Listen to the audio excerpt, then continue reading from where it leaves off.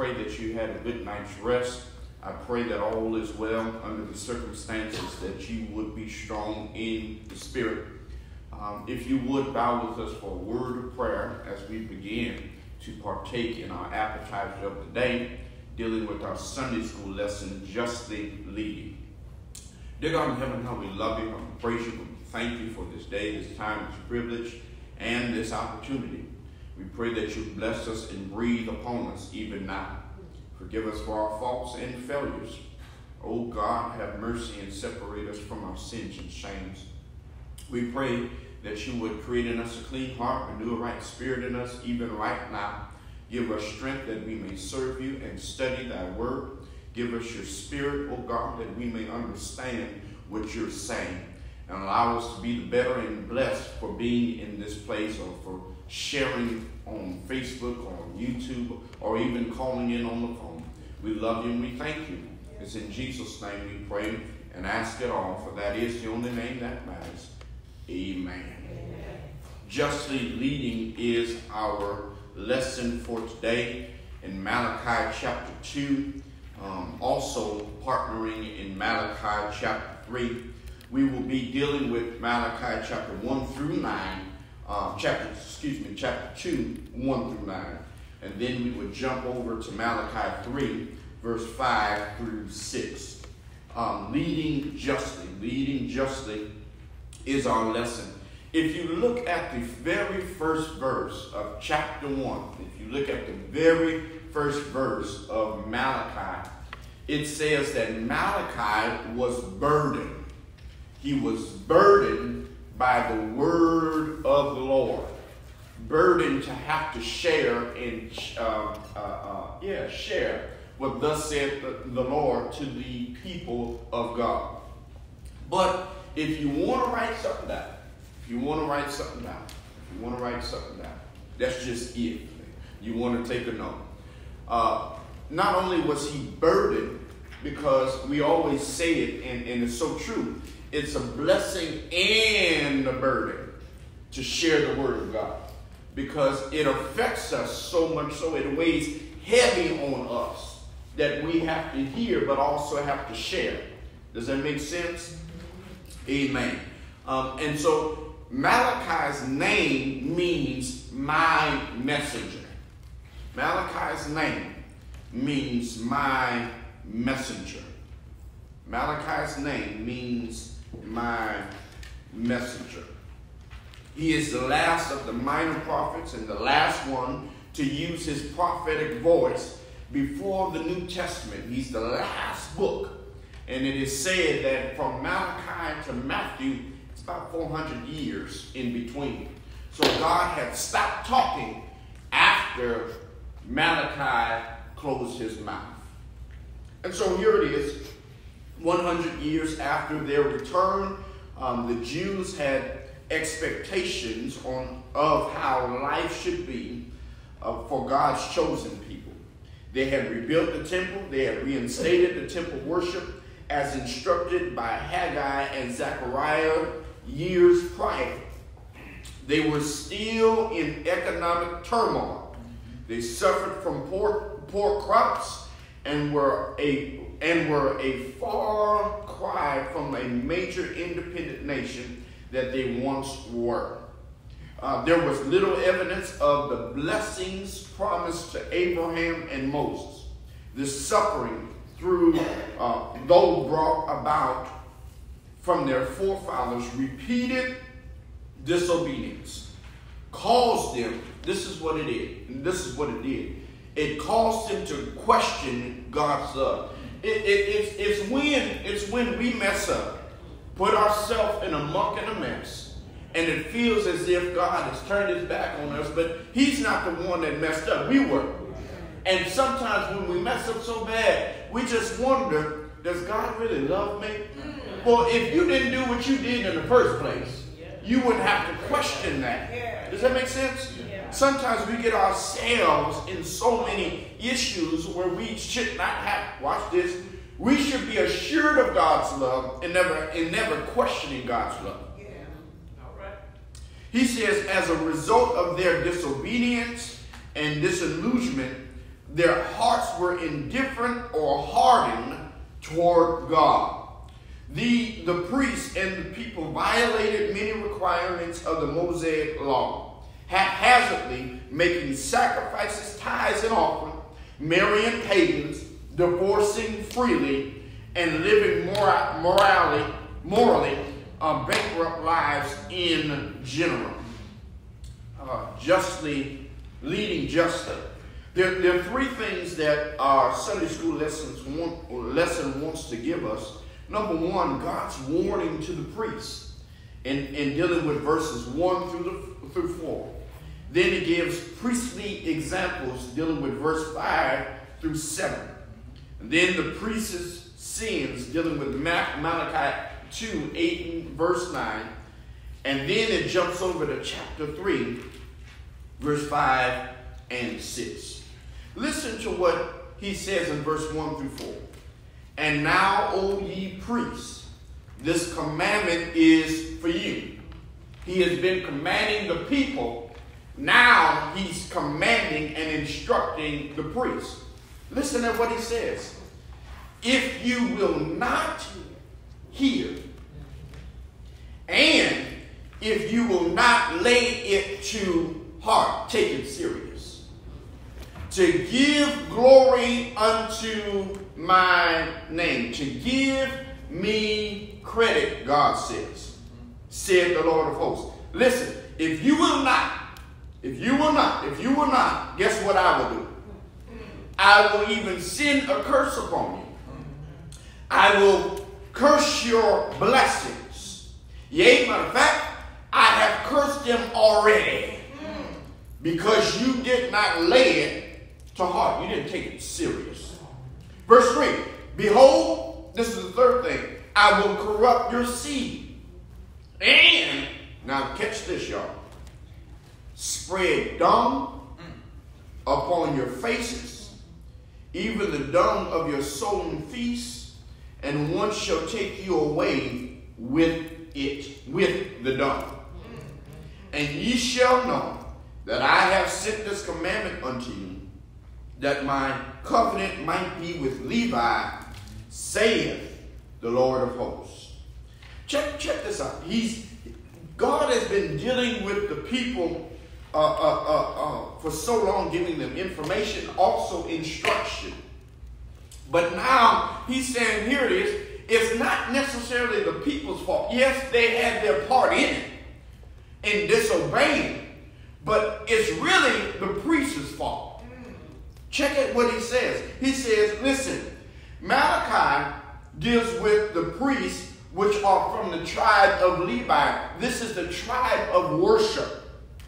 The third, the third son of uh, Jacob. However, only the descendants of Levi's great grandson Aaron, the first high priest, can legitimately serve as priest and offer sacrifices on the altar on behalf of the people.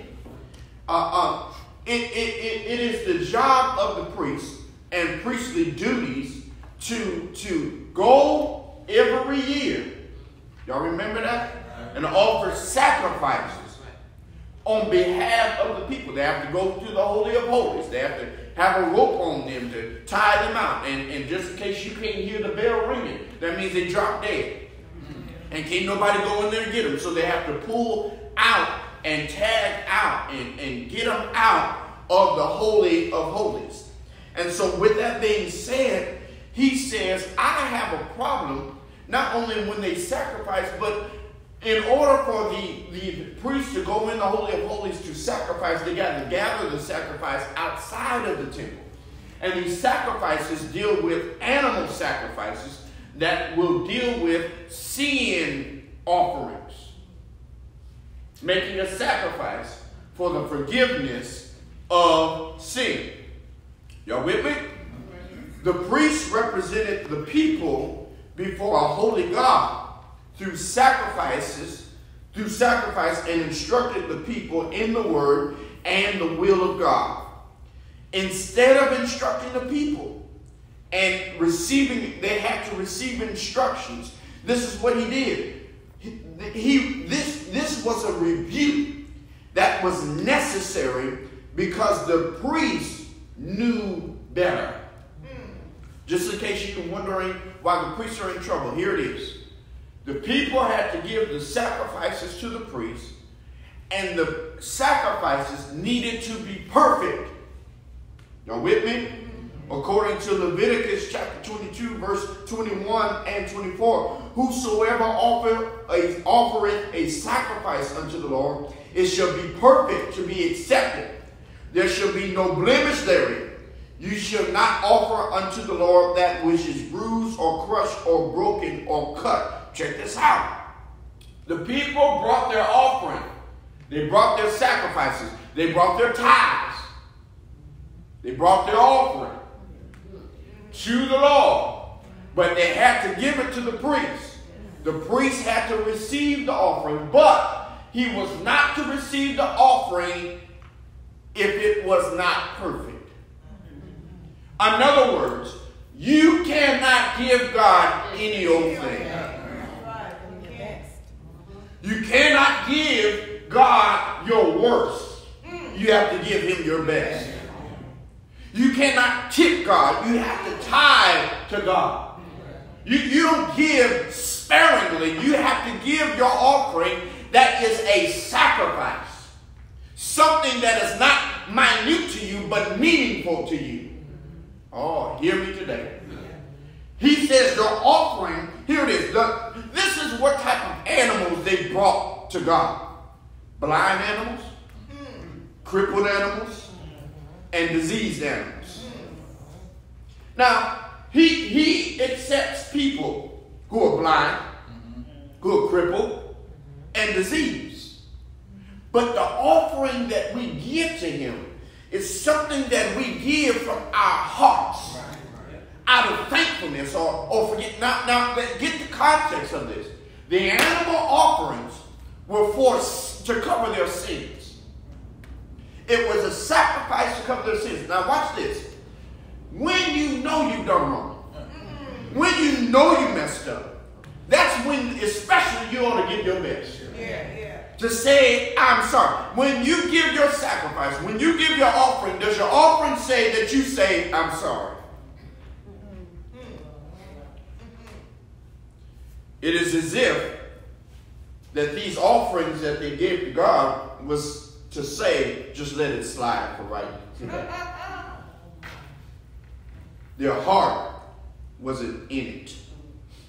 And so the priest got, got in trouble because it was direct defiance of the regulations of the handbook of Leviticus, the book of Leviticus, which gives us an understanding of what offerings or sacrifices should look like. But the priest, here it is, dummied down to the people mm. and said, Oh, that's okay. You, you just give this.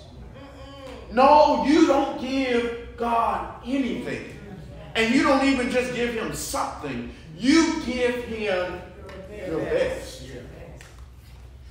So, what happens is God was so displeased with their conduct that he gave the priests a severe warning. If they refuse to listen and make the appropriate change, God would curse them. He, he curses which are hardships and difficulties. They were nothing new to Israel. In fact, the curses for disobedience to God's law were embedded in the Mosaic covenant. Here it is.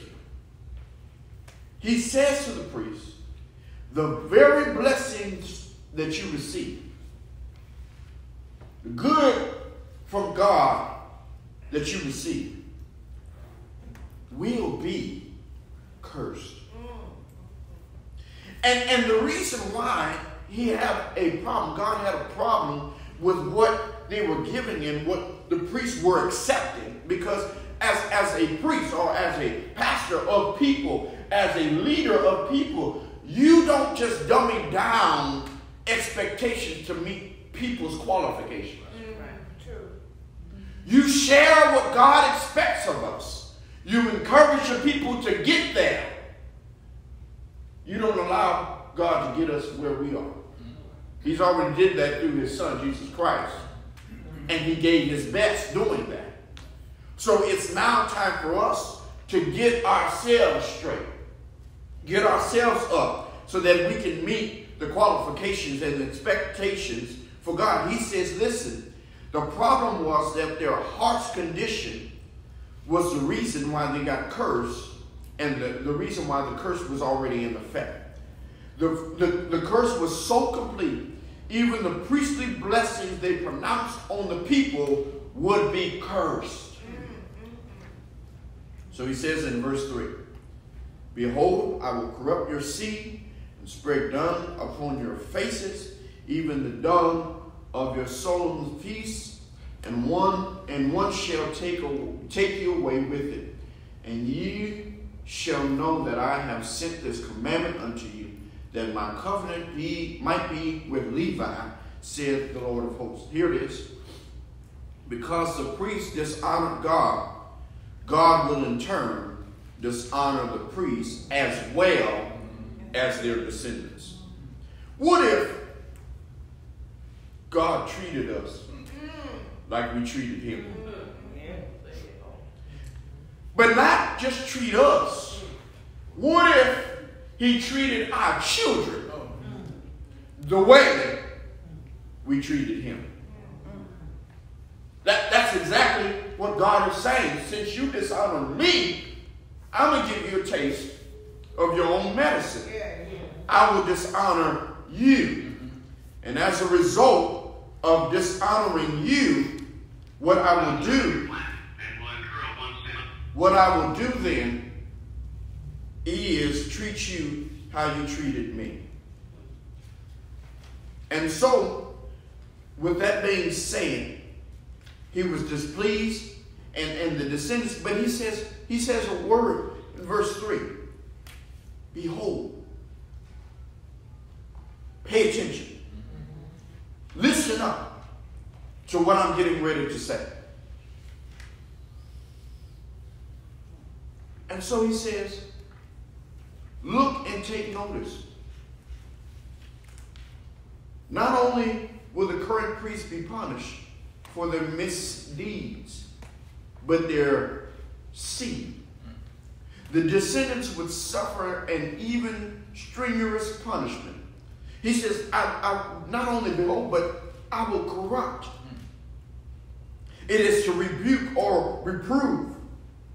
This the manner in which this will occur is by spreading dung upon your faces. Mm. Dung. Dung. Manure. Mm. Dung.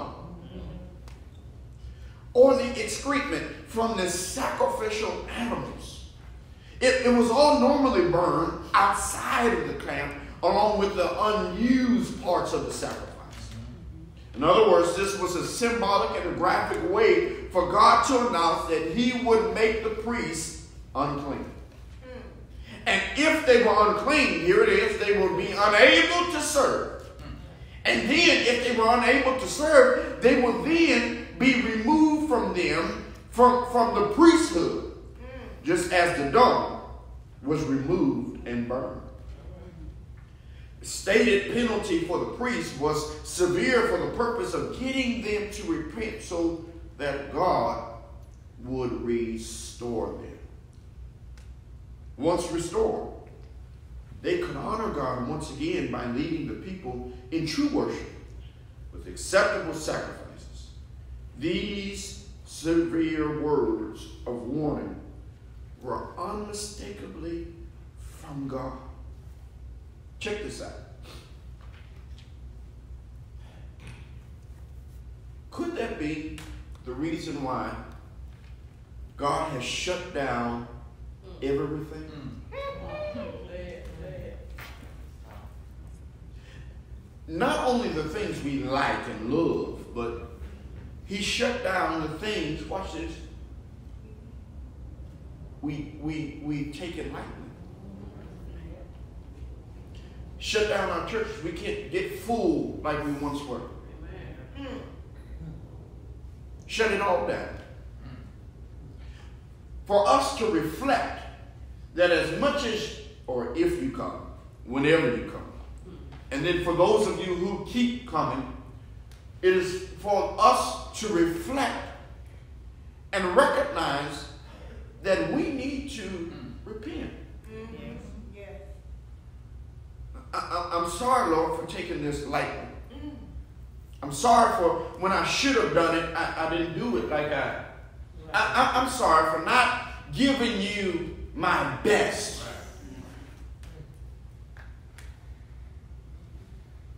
But while God has shut everything down from among us and around us, it's my prayer that God doesn't shut himself down. Yeah, yeah. Because again, Malachi, this is the last time God speaks until 400 years to the New Testament. So all that time, from Malachi to Matthew, been 400 years, and in those 400 years, God never said nothing.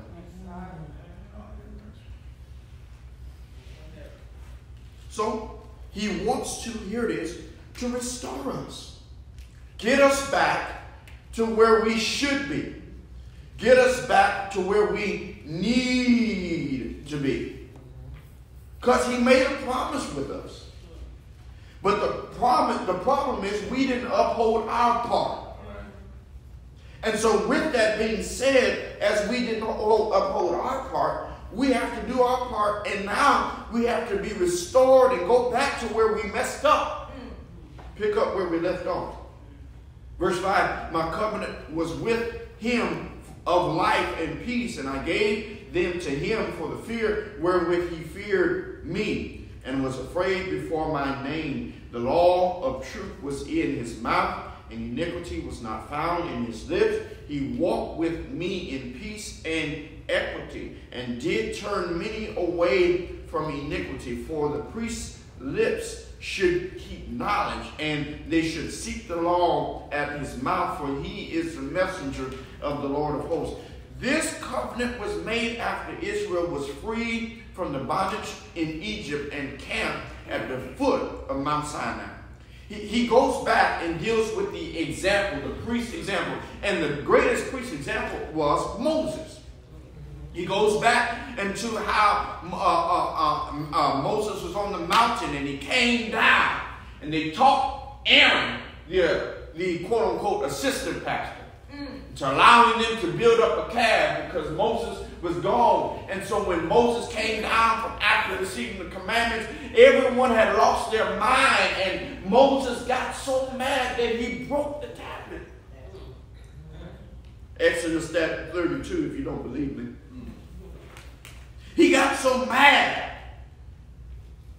that, that, that, that he, he broke the tablets of stone with the Ten Commandments and gave the command for those on the Lord's side to remove themselves as a sign of their fidelity to the Lord. What do you have to remove yourself? To let you know, to let God know, I ain't with that. The Levites obeyed. As a result, God set them apart as the priestly tribe with these words Today you have ordained yourselves for the service of the Lord, for you obeyed him, even though it meant killing your own sons and brothers. What extent are you to go? Are you willing to go to obey the Lord? Who are you willing to cut off? Who are you willing to let go so that you can be set aside, ordained for God's use, watch this, in this unfortunate time. So the covenant with Levi was for life and peace. It brought spiritual life because the priests offered the blood of the animal sacrifices to God for the sins of the people. As a result of receiving forgiveness of sin, it brought peace with God which resulted in the peace of God. Mm-hmm. That's exactly what Jesus brought. He brought life, but he also brought peace that he would we would be at peace with God because we were separated. But through Jesus Christ, we are united with God. And we ought to, as people of God, have the peace of God. Peace with Him, here it is, and peace with one another. He says in verse 8, When you are departed out of the way, you have caused many to stumble at the law. You, you have corrupted the covenant of Levi, said the Lord of hosts. Therefore, have I also made you contemplable um, and base before all the people, according as ye have not kept my ways, but have been partial in the law. Check this out. He says, the priests were mandated to teach the law to the people of Israel in Deuteronomy 33 and 10. But here it is.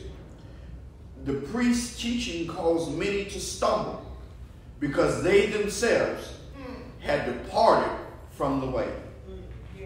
Telling the people that defiled and diseased animals were acceptable for sacrifice violated the covenant God made with the Levites and the warning they were given to be held responsible for any covenant breaking. Here it is. They were in trouble.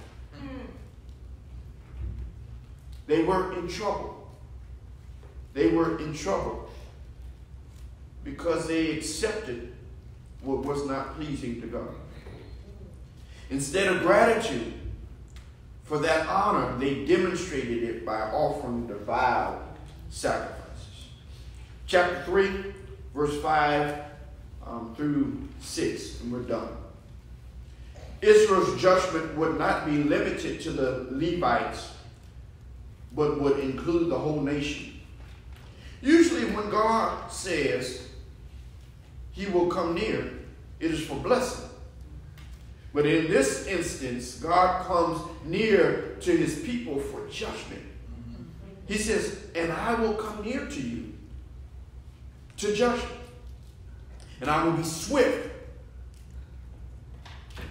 I will be a swift, excuse me, witness against the sorcerers and against the adulterers and against false swearers and against those who that uh, oppress and the hireling in the wages, the, the widow and the fatherless, and that turn aside the stranger from his right and fear not me, saith the Lord of hosts, for I am the Lord. I change not. Therefore, you sons of Jacob are not consumed. Watch this judgment, which also means justice. Justice speaks of the act of deciding a case and then issuing a verdict with the associated penalty that is required in order to restore order. Notice the unusual nature of this particular court case brought against the people. God is not only the judge, he is also the witness against the people and the prosecutor who brought the charges. His verdict is that very every that every aspect of society is guilty. His verdict is everybody is guilty. The family is afflicted with adulterers. The workplace is infected with employers who cheat employees of their wages. The community the community leaders oppress the widows and orphans and mistreat strangers and immigrants. The courts are corrupted with false swearers, perjurers. Verse number five. The, the, the, the, the sorcerers in the society practice evil with aid of evil spirits. The overarching charge is that all these transgressions occur because the people do not fear the Lord. But this is the question many are asking today. Will this judgment bring about the end of Israel? Will this judgment that God has given the United States and the whole world bring about the end with this virus Has he, has he brought about the end with the coronavirus? Will the people be consumed? He says, No. The descendants of Jacob will not be destroyed because of God's covenant, his promise to the nation of Israel. God's word, like himself, is immutable. And that is the basis of for Israel's hope. We too have the same basis for hope. Whenever we mess up and go astray, our covenant keeping God is true to his word and will forgive and cleanse us if we but confess. This is your lesson for today on leading justly. Are there any questions? Are there any questions concerning the lesson? Those of you who may, those of you who may be on the phone, my phone hung up automatically. I don't know why or what, and so I'm trying to, I tried to get you guys back on the best way I could. Um, Sister Turner. Pastor, you know, this, uh, we didn't know our Sunday school lesson today. We didn't know all this and everything was gonna come, what's happening today. No, ma'am. It's right here now in our lesson, you know, the just leaders and how the peoples, you know, are taking advantage of each other, you know? Yes, This ma'am. is all coming to pass, you know, and everything.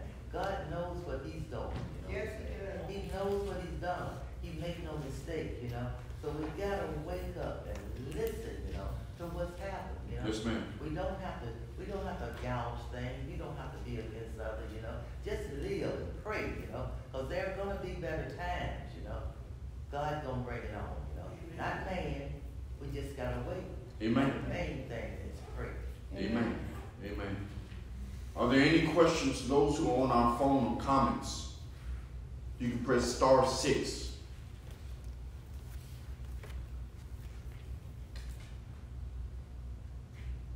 I have a question, Pastor. Uh, you said that, uh, when they brought those sacrifices that weren't perfect, and the priest knew that, uh, he wasn't, he wasn't supposed to accept imperfect, uh, sacrifices, but he accepted them anyway. What did he do with that imperfect sacrifice that he didn't accept? Say, say it one more time. That imperfect sacrifice that he accepted, what did he do with it? He gave it to God. He offered it to God. But he knew that it was He knew that it was defiant. That's the point. And, and that's what a lot of these pastors and preachers do. They know there's some stuff that we are not questioning. I, I don't have no, no, here's the issue. The matter of our, of our church society, what we've been dealing with for especially the last 10 years. We're trying to come up, keep the same message, come up with different methods. We're, we're to attract young people, to, to do all these things, to attract young people. That's good and great. But however, the scripture says, train up a child in the way that they should go. You, there's nothing wrong with change. Nothing wrong with change.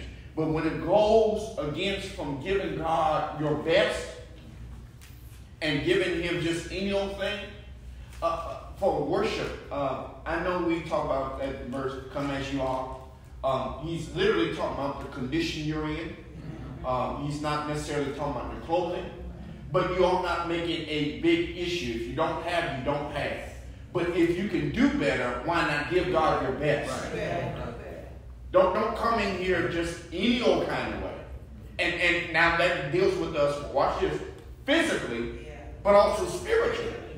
We ought not come in here any old. He told Moses, who was on the mount, mountain of God, on Mount Sinai, take off your shoes.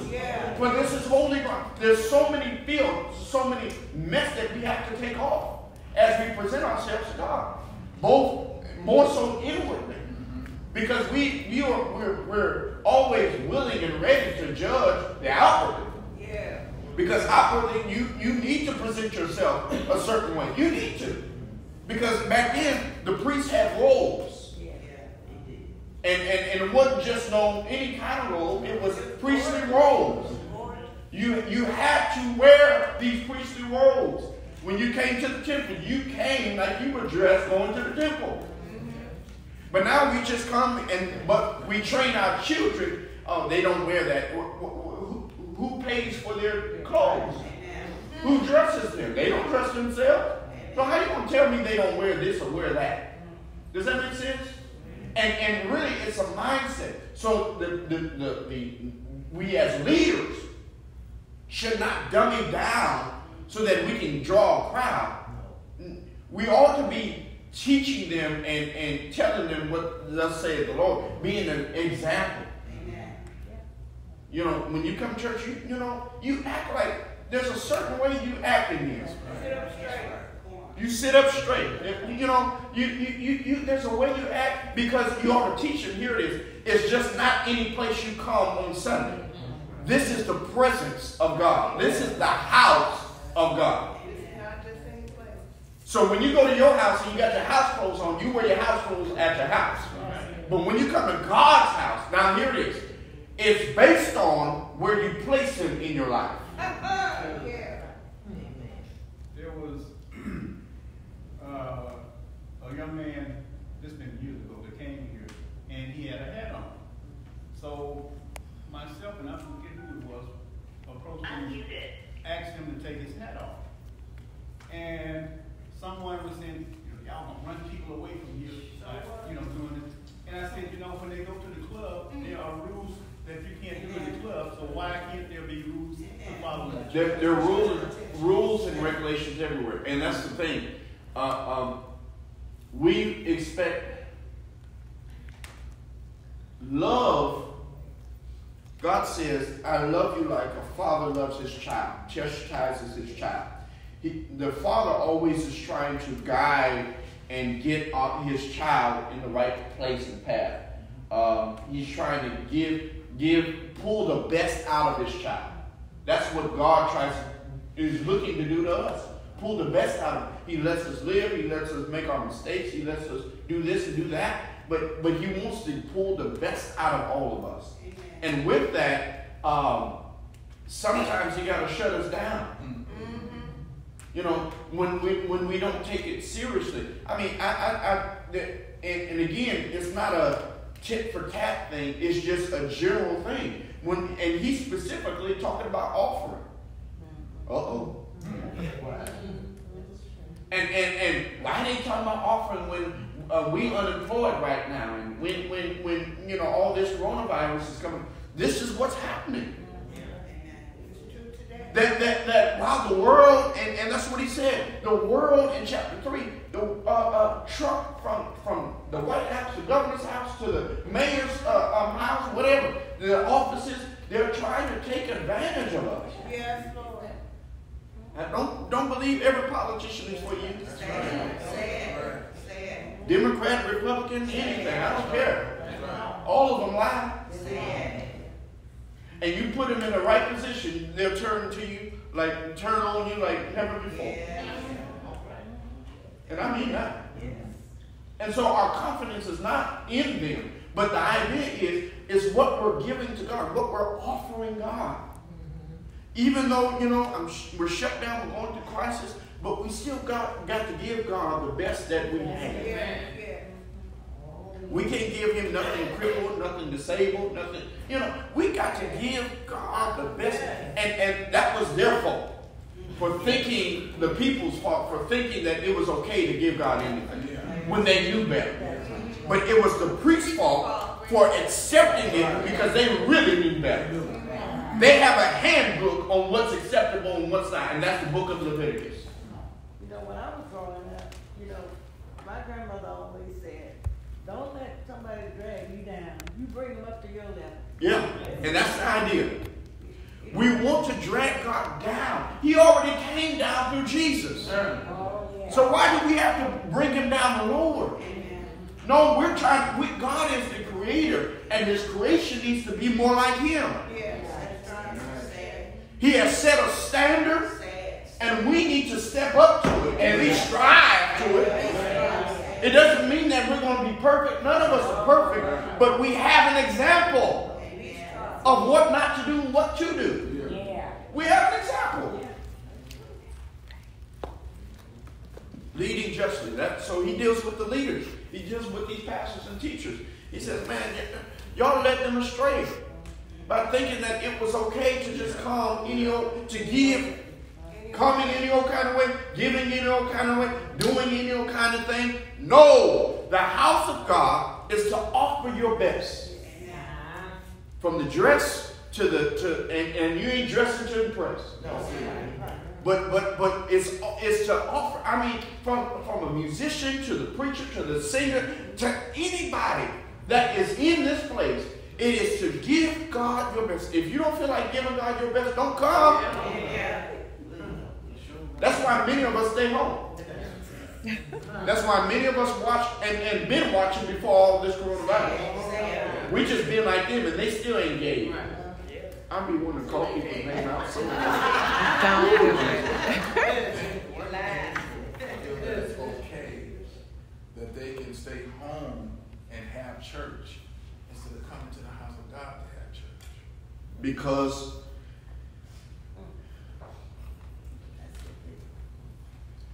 I'm gonna say it like this.